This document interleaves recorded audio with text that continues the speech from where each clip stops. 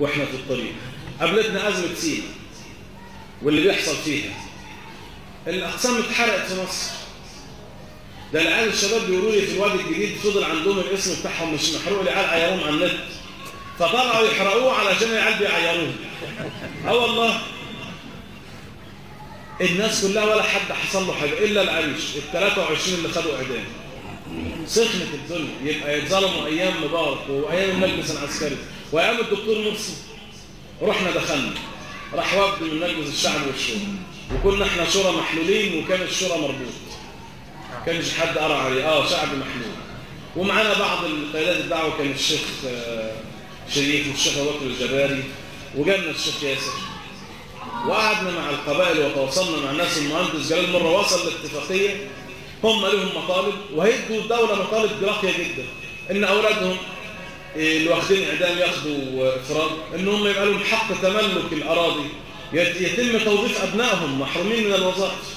وفي المقابل هم هيسلموا كل السلاح اللي موجود. كل العناصر الأجنبية. كل من يتعدى بعد ذلك على مصر هم يقوموا بتسليمه بس قالوا مين اللي يضمن لينا الكلام ده؟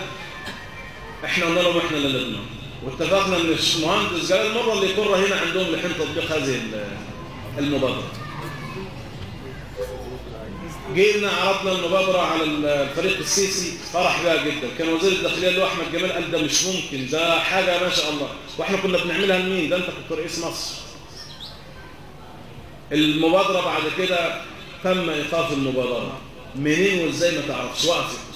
المهندس جلال مرة الناس البدو يتصلوا بيه وما ينفعش معاهم لعب وهو يتصل بالفريق السيسي ما يردش. بالله أحمد جمال الدين ما يردش. فين ردوا قالوا له الرئاسة لها رأي في المبادره وقفت المبادرة بعد ما كانوا فرحانين بيها. اكتشفنا إنهم بعتوا أخونا. أنا بعد كده عرفت من الأخ أحمد اللي هو بتاع البناء والتنمية اللي كان مستشار الرئيس راح هو وأخ تاني عشان يعملوا المبادرة وتم إيقاف المبادرة. بس ما كنتش فاهم هي وقفت ليه. لكن فهمت متأخر هي وقفت ليه. وقفت عشان التهديد اللي اتقال ما تقولش ده كانت كلمه لا دي كانت حقيقة. الرئيس يخرج يا إما اللي في سينا هيحصل عشان أقول لكم تفاصيل ثانية مؤلمة من داخل الموضوع ده وإيه اللي حصل في سينا. فهمت أنا؟ بس متأخر قوي عن مبادرة حلايب وشلاتين.